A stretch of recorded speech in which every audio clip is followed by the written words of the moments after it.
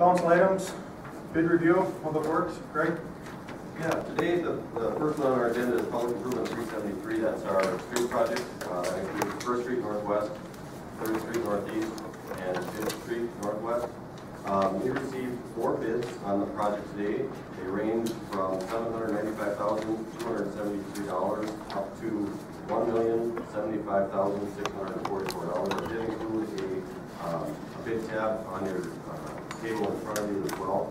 The low bid came from Larson Excavating out of Holdingford, uh, which was considerably lower than our uh, engineer's estimate by about hundred and twenty-five thousand dollars.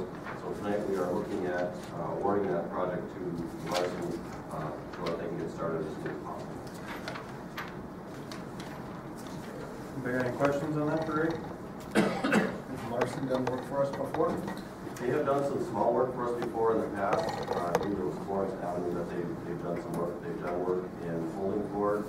Um, I think the most recent one was also Swan Road. They've had some bad road. Um, but for the most part, they've been fairly decent in terms of of most of the projects that they worked on. Because of the Swanville stuff, any concerns? Um, no, I think the problem with the Swanville one obviously was the, the timing. Um, and we'll make it explicitly clear that's gonna be one of the things that we're concerned about. The one benefit that we have, um, and Swanville had this, this uh, benefit as well, is that we'll have a performance bond. So if for whatever reason they fail to, um, meet their, their, uh, their contract requirements, we can always hire it out to somebody else and have it done at that point, we can take it out of the performance bond. So we're covered on, on that respect. So- you, go ahead. So I see there's about three thousand difference between them and our local contractor that we've used, we've had sub- substantially good luck with, I guess, I don't recall much for issues at all with them. Do we have to take the low bid, or can we, You have to take the lowest responsive bidder. Responsible, Um, Responsible bidder, yes. Um, Larson had Tri-City as a sub, Tri-City had Larson as a sub. So you're still looking at the same two players uh, in the mix as well. Did you, uh, check Holding Court, what they thought of Larson's? Yep, I spoke with uh, some of the folks that have, that I've worked with in the past, that have worked with with Larson. um, And they've said straight out that their strength is underground work, which is what they're proposing to do here. Um, So they didn't have any concerns in terms of uh, Larson being able to work.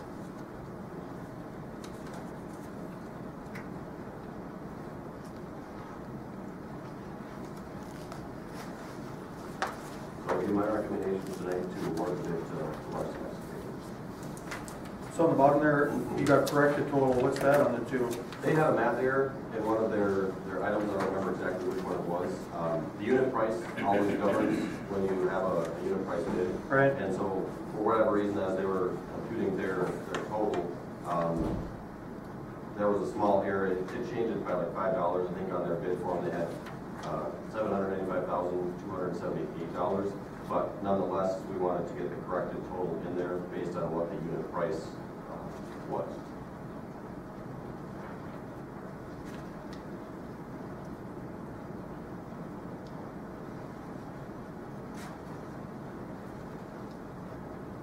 Anybody else got any questions or concerns? I don't know, Does anybody that's been around longer know how frequently do they do change orders and, you know, oops, we need more fill and as opposed to Tri-City? I mean, we're talking the, the difference on these two are so minuscule. True. Um, One thing you'll have to keep in mind, if you decide not to go with the lowest responsible bidders, you're gonna have a hard fight. Um, And I wouldn't see it necessarily any reason not to award it to Larson. Um, So I, I, even though I understand where you're coming from, I don't think you want to travel down that path too far. And that's what our, in terms of change orders and the quantities and stuff, that's what our RPRs are supposed to be watching, keep an eye on, make sure they're uh, installing it correctly and uh, quantities and such, make sure that they're not trying to gouge the city one way or another. Greg, I, uh, you know, I understand where everybody's coming from, because of course, we'd like to keep everything possible, as local as possible, keep local people employed, but there's also laws governing what we have to And keep in mind, Tri-City is listed as Larson sub, and Larson was listed as Tri-City sub. So even if you decide to, for whatever reason, go with the number two bidder, the work probably still gonna be the same regardless of one or two on who's gonna do what. It's just a matter of who's gonna be your general contractor, your point man on it. And if you check Larson, a lot of times, he hires local people, as Tri-City hires people from other areas. I mean, the, the difference on the bid is basically the network. True, true. So I mean, if we don't know if either one of them has a propensity to up their fees once they get a job, I, I can see where Tri-City is- Tri-City's starting to get more into the, to the concrete work, flat work as well as curb. Um, and I think Larson was using a subcontract, contractor for that portion of it. Uh, If I remember correctly, it was French Lake, uh, concrete that they were proposing to use on Kimball. So that's one area that they're looking at using a different sub. Uh, But I do know that Tri-City is just recently starting to dabble into that, that concrete work, so that's probably the difference. Anybody else got any other questions, concerns? Not, abandoned well sealing? Then, well, sealing, we received a grant, uh, which you'll see on your agenda on the regular, uh, meeting tonight, from the Department of Health for ten thousand dollars to seal abandoned wells. We opened bids last Friday, uh, we received three bids, or three quotes from that. Uh, one from Northland Drilling, another from Traut Wells, and another from North Star Drilling. Uh, Tonight, we'll be looking at awarding the contract to Northland Drilling out of Randall. They got the lowest bid for the, the base bid portion of it. Um, and they're planning on starting, uh, I don't know if you noticed the cones and such outside, but they are planning on starting tomorrow, uh, to start sealing those, those wells. We're kind of in a time crunch with those particular items because the load restrictions come off on, on Thursday. So they've got a number of other things that were previously booked up, so we're looking at Tuesday, Wednesday to complete that work. And they're, they're free to do their, their other work that they had lined up originally. And that goes for all three, uh, of the well drillers there. As soon as the load limits come off, they've got a number of things, uh, already scheduled in for us, so. Tonight, we'll be looking at awarding to Northland Drilling and the amount of three thousand three hundred fifty-eight dollars uh, for just the base bid. So what's the deal with alternate A? Why, What's that? what's the deal with alternate A? Alternate A was if there's sufficient funds left over. Uh, we do have another well just outside of City Hall on the north side that would be looking at, uh, drilling that out and sealing it. Um, looking at the prices, you know, one's at seventy-seven forty, the other one's at ninety-six sixty-five. That's not gonna fit in term, into our ten thousand dollar grant. And so rather than spend a number of, uh, or a bunch of city funds to get that one completed, we'd be looking to apply for the grant again in the fall uh, to complete that portion of it so that we can get grant funds for it as opposed to city funds. So we're looking at maximizing our grant funds as opposed to dipping into city money. So if we don't use the ten thousand, we lose the rest of it, or? I think we're gonna use all of it because that will also offset some of the costs that we're incurring in terms of staff time and equipment for uh, the wells up here. We do have one right outside, just to the east of City Hall, that's gonna be a little bit more difficult than we originally anticipated.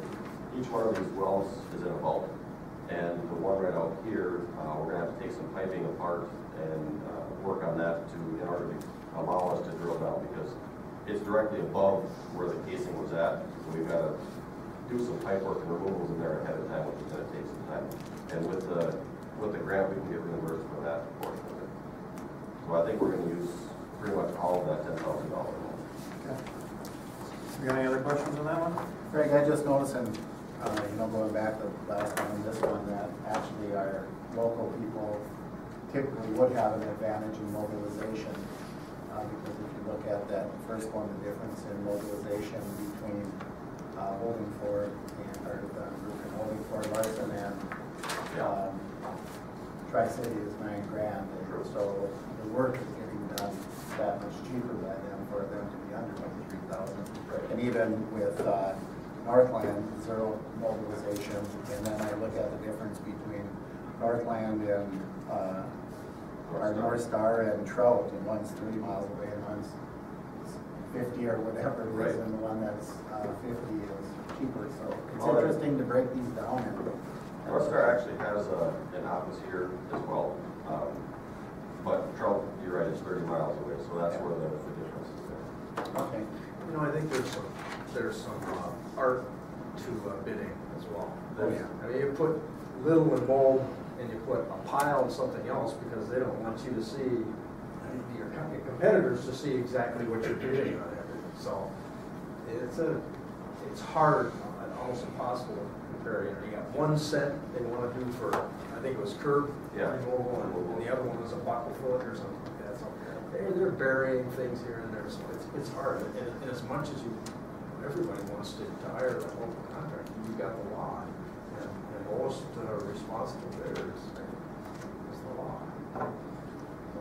Now, another thing to kind of point out, if you notice, you look, you look at the mobilization on any one of these here, it's not just to get the equipment to the site, it's also to include, uh, what I call soft costs, so any bonding requirements or insurance requirements, that all goes into that portion of it as well, so, um, it doesn't take necessarily forty thousand dollars to get equipment here, It- it's everything else that's, uh, in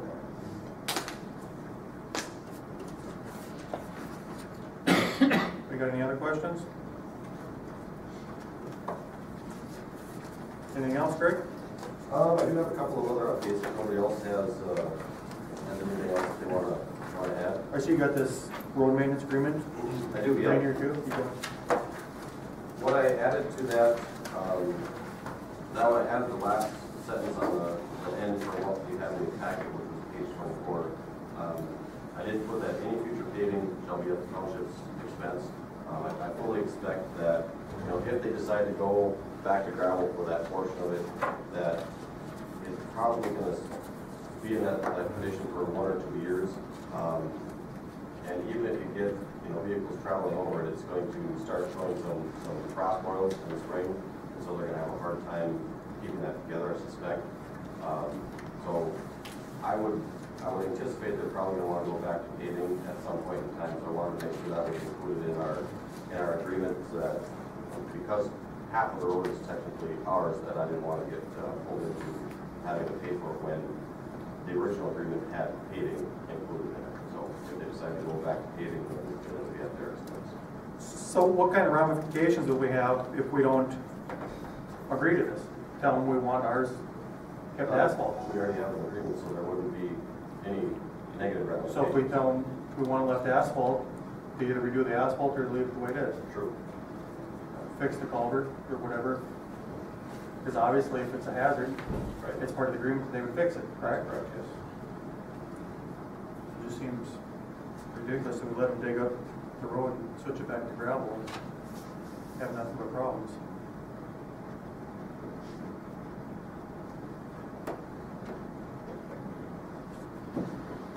It's the agreement, they knew what it was two years ago when they came in with it, they knew what kind of road it was. They've been maintaining half of it for how long?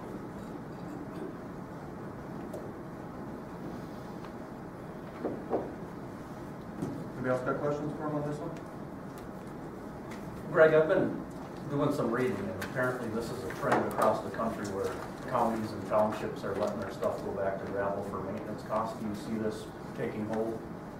I don't, not, especially not in this situation, um, you know, with it being swamped over that area and the, and the water table being so high, it's just an indication that the, obviously the subgrade is, is soft. So whenever you drive a heavy pickup over that, it's gonna break up. Um, blacktop has twice as much strength as just regular gravel. And so if you put down two inches of blacktop, that's the equivalent of four inches of gravel. So any amount of blacktop is gonna give you a better, better road than, than just gravel.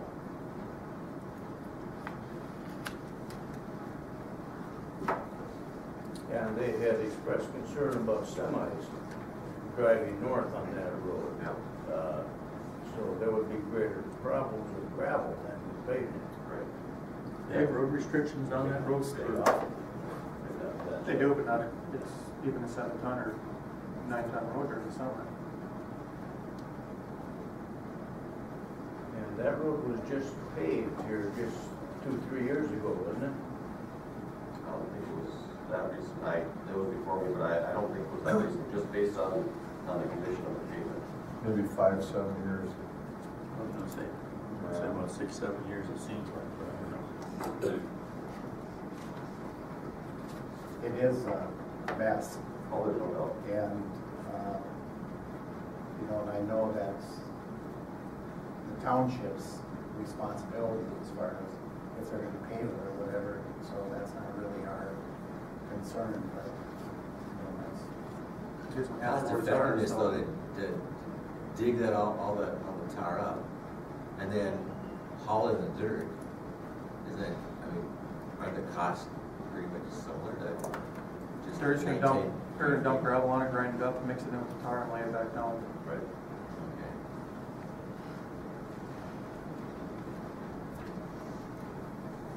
But Remember, the west half is the city's portion, and we just got a maintenance agreement.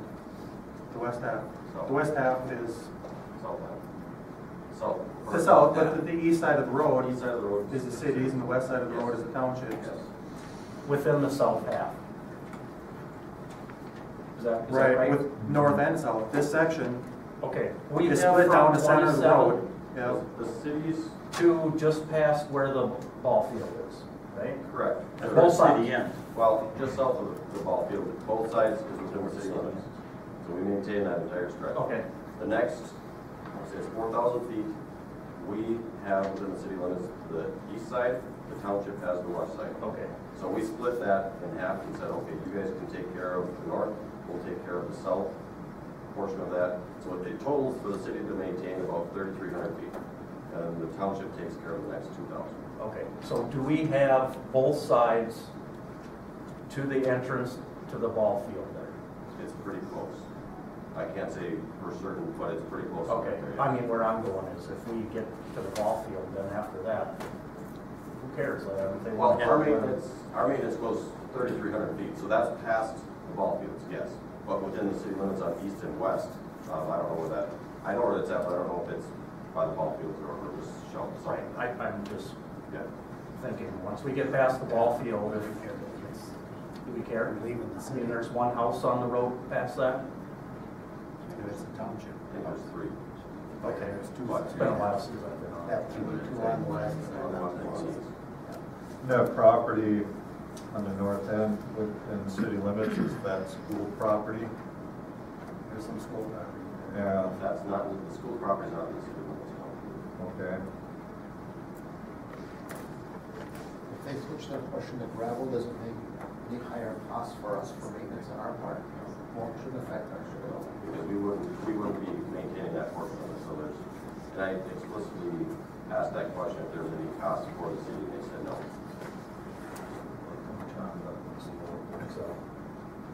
Thing is, it's our road, so they chop down the, what are gonna do? Pretty chopped up already. Well, it's only half hours, right? Only one. So we get even, we chop their half off. We sign it over to them?